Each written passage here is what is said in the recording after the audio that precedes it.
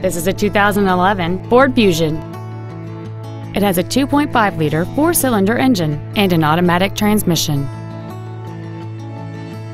All of the following features are included. A low tire pressure indicator, solar tinted glass, cruise control, a leather wrapped shift knob, the secure lock anti-theft system, front fog lights, 12 volt power outlets, a traction control system, full power accessories, and this vehicle has fewer than 45,000 miles on the odometer.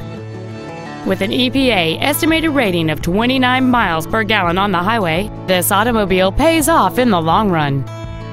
This Ford has had only one owner, and it qualifies for the Carfax buyback guarantee. Contact us today and schedule your opportunity to see this vehicle in person.